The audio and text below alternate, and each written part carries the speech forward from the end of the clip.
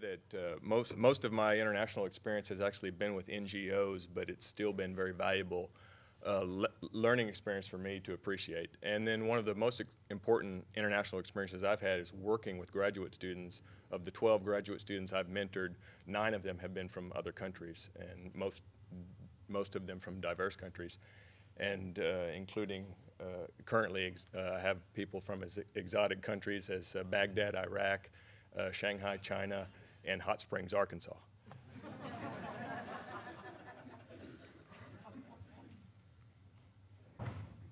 oh. Now, uh, here's, here's our, our student from Arkansas who's actually a stand-up, the nephew of Leonard Pike, so he had big shoes to fill. He's holding some of his uncle's onion breeding lines. One of the most important things we do in, under the, uh, the auspices of the Vegetable and Fruit Improvement Center is develop new crops with improved nutritional value. And a lot of people have, have, have talked about uh, uh, finding crops that are adapted or are suitable to the local populations. And so we feel that something like an onion, a carrot, a tomato, crops that we work on are, are accepted by many populations. And if we can improve the nutritional value, uh, we, can, we can make sure that when they're consuming whatever amount, they can be improving their health and not uh, eating something of mediocre quality. So as a geneticist, we think about technology in the, under the uh, umbrella of something new and improved. And so that's what I'm going to talk about today. Some of the innovations we use to try to uh, develop varieties that are better adapted, better quality, and uh, better suited for sustainable systems. Now, uh, in, in phytochemicals, some of the most important compounds for human health are carotenoids, which are such as vitamin A and lycopene. And then you have uh, vitamin C, which is common mostly in fruits and vegetables and not, and not so common in other things that we consume. So we, we, unlike other animals, can't produce it in our bodies. And then, of course, the sugars, which are necessary for energy, and, and these are very common in fruits and vegetables. And then uh, a new group or a, a, group of interest these days is phenolic compounds because of their potential for, for warding off disease, cancer, heart disease, and their antioxidant capacity. And as you probably know, fruits and vegetables are loaded with these compounds. Now, this is an example of some work we've done uh, in collaboration with Dr. Patil and Dr. Yu and Dr. Jifon in uh, exploiting naturally occurring germplasm that is very high in, in, specific phytochemicals. And in peppers, we found that much of what we were producing, commercial varieties were low in some of these compounds, but there was material we were able to identify through screening uh, by chemical analysis and integrate some of these genes into our germplasm, and we were able to increase overall antioxidant capacity, particularly in, in the phenolic and vitamin C, uh, in orders of magnitude.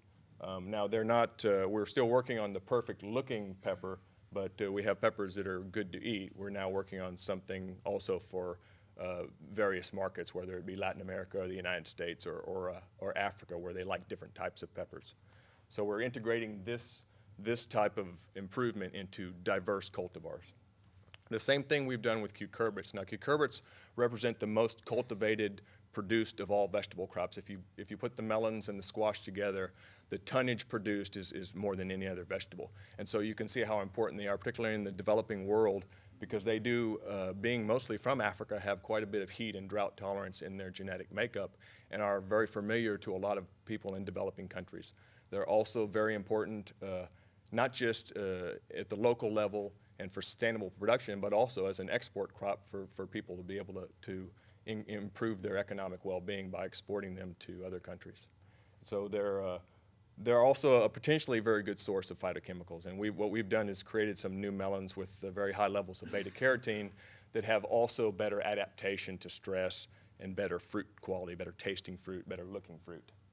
Um, and, and in the process, we've also been focused on uh, melons that would have dual applications. So they would be good in a, in a low input system because they have enhanced physiological attributes, and they would also be good for, say, shipping because they have longer shelf life.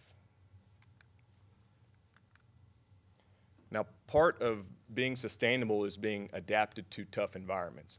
And fortunately, working in Texas, we're exposed to a very tough environment in the form of not just the climate, but also lots of, of pathogens and diseases. And as I found traveling in Latin America and other parts of the world in North Africa, I saw some of the exact same diseases and stresses that we have here in Texas. So I figured, well, what we're facing is something that could be translated to, to these countries. And so uh, we frequently use technology in the form of, of uh, plant pathological procedures and even molecular markers to verify resistance to some of these, these pathogens that we deal with. Now, as I mentioned, uh, sustainable to me really means resilient. And that means a plant that can survive the vagaries of, of whatever the, the, the, Mother Nature throws at it. And this includes uh, uh, all of these pests, but also drought, which we know well in Texas. And being in Texas, you know, our climate extremes mimic the climate extremes that are, are being uh, uh, experienced in many of the developing countries we've been discussing. And unfortunately, traditionally, a lot of vegetables were bred in northern and western Europe and California, places that have an idyllic climate. So they might not have been selected for these type of uh, extreme environments. And we're fortunate to have uh, collaborations in many parts of Texas uh, and other uh, and other regions in Latin America where we can make sure that we do select material adapted to these type of extreme conditions. Now, as a case study, I thought I'd mention uh, work in Guatemala that we did, and as I mentioned, this was predominantly with with uh, private industry, but also uh, the benefit is uh, is spread to the local uh, small stakeholders, and also just because it employs a lot of people. If they're able to sustain their production, they can they can keep people employed. People can put uh, food on the table. Um, as a result of some of our work, or some of our goals is to compensate for the fact that things like methyl bromide are, are not being allowed anymore. Very, very strong toxins that have been used, fumigants, to eliminate some of these diseases. Now that they're being phased out, these diseases and, and, other, and other problems have become more uh, prevalent. And they're not going to get any better because we're not likely to see anything, you know, supplant methyl bromide that's equally as efficient at sterilizing the soil. And at any rate, uh, that's really not the best approach to sustainable production because sterilizing the soil removes the beneficial bacteria. So at any, this was started uh, actually when I was a PhD student uh, working with uh, Dr. Marvin Miller, who's now retired uh, from the Weslaco Center, and he identified the main cause of, of, of, of this decline in melons. Um, but we, we decided to look at this and with a new paradigm. Instead of looking at the top of the plant and breeding above ground, we decided to look below the surface and look at the roots. Because basically, without a healthy root system, you can't have a healthy plant, especially in vegetable crops that have to grow on a short cycle very quickly. If they have an insufficient root system, then they're not going to produce a good crop. And so we started to investigate root genetics, which is actually a group of about probably less than a dozen people in the entire country that are willing to take, uh, take the plunge into this. In, in Guatemala, we saw the same thing that we see in South Texas and other warm regions. We saw this gradual decline of the crops in the field. This is before harvest, and oftentimes, right, right before harvest, there's such a collapse that the, the value of the crop is lost after much of the input is put into it. Now, this part of the problem is, is that this particular field was cultivated two crops a year for 30 straight years. And methyl bromide, methyl bromide, methyl.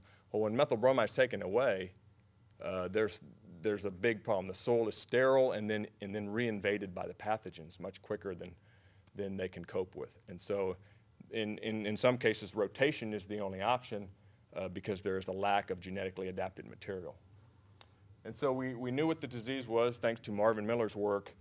We screened thousands of exotic melon germplasm lines, we identified a few that were resistant.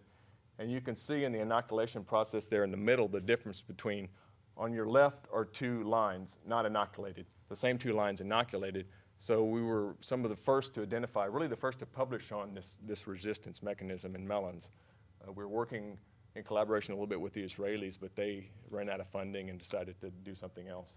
So this is what's at the bottom, what happens in a field in Texas when, uh, when you have total loss of your crop after you know, investing in fertilizer and, and labor and all of these things. So uh, what happens?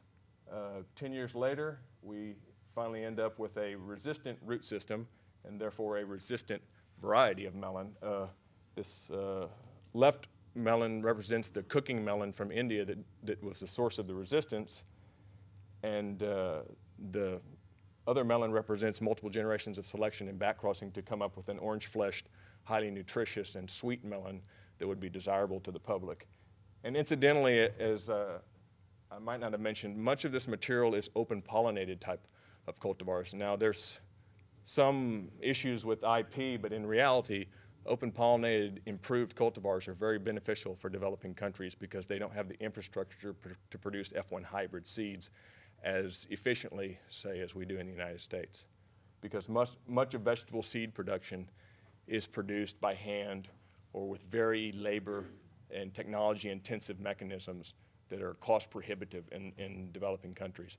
And there's no reason that a good open pollinated variety will not suffice. Uh, they sufficed for thousands of years before the last 30 or 40.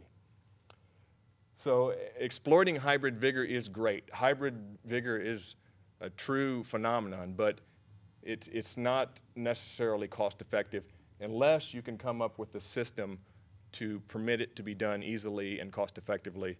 And that's another project we have worked on, and that is uh, isolating some, a gene, in this case, for male sterility that allows uh, identification of plants that are sterile to be used as a female, as the seed parent, and allow the bees to do the work and do it outside and let, uh, this is used in other crops where it's very stable, such as onion. So that's uh, one system that could be used and applied in developing countries, and it already is. In, in, par in parts of India is a good example, and uh, in other parts of Asia, they're using this type of a system to exploit hybrid vigor. And just to wrap up, these are some of the products of our program for enhanced phytochemical value and uh, stress resistance that are being grown, some of them in uh, Mexico, some of them in the United States, and some of them have been trialed also in Central America.